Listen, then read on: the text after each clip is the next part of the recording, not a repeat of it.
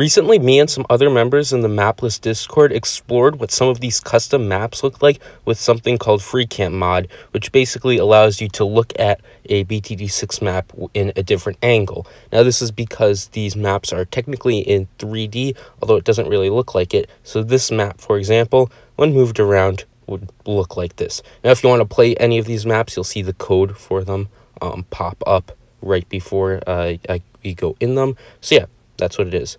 So now looking at Abandoned Lab, this one's pretty cool. Um, it doesn't look too interesting at the start, but it has a neat feature where when you click on the big laboratory thing in the middle, this guy ends up popping out. So that's what he looks like. It's pretty flat, um, not much is going on there. There's just some layering with some props at the top though. Next we're going to be looking at the secret cave. Now this one's pretty interesting because it's kind of like a cave layered on top.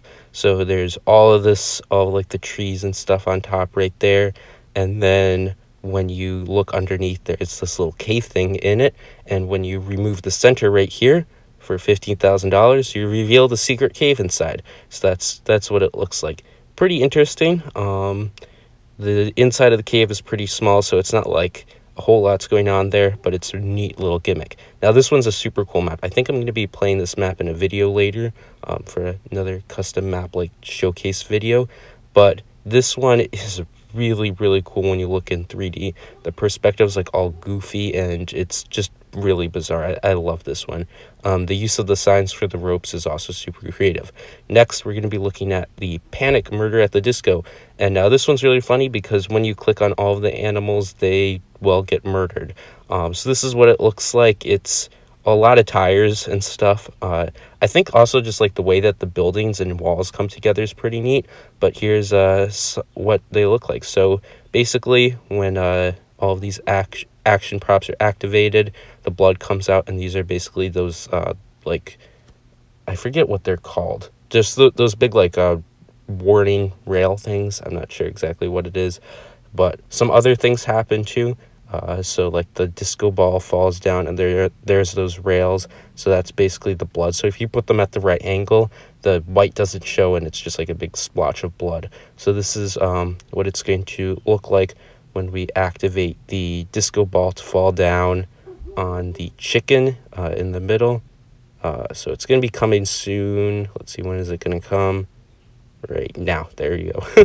That's what happens. And then here's some other ones. The truck comes out from the end right there too. So yeah, that's that one. Next, we're going to be looking at Mom Spaghetti. Now, this one's a really cool one because this is just a ton of bars of soap uh, configured in very particular ways. So the dark part on the side makes like these curves and you make spaghetti out of this. This one was a really, really fun map to make and it looks really crazy in 3D.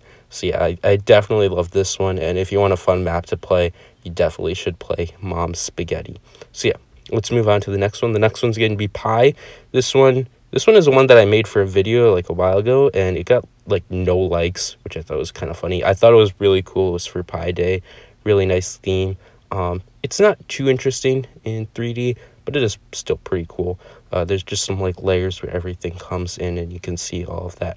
So the next one will be the Fender Stratocaster. This one is also really, really, really cool in 3D. So basically, it's kind of like it. It reminded me of like one of those cross section videos, cross section like books, like the Star Wars Complete cross section, where like they just take off a part and it just like all comes out and it also kind of looks like a real guitar when you're building it because I, I built a guitar and like you put in each bit so there's like the uh the pick guard there's the um, bridge. There's the what should we call it, the pickups and all of that stuff, and the fret. And in this, it kind of just looks like all these pieces are floating above it and ready just to be slotted right into the guitar. So really, really awesome in 3D. And then I think this is going to be the last one right here.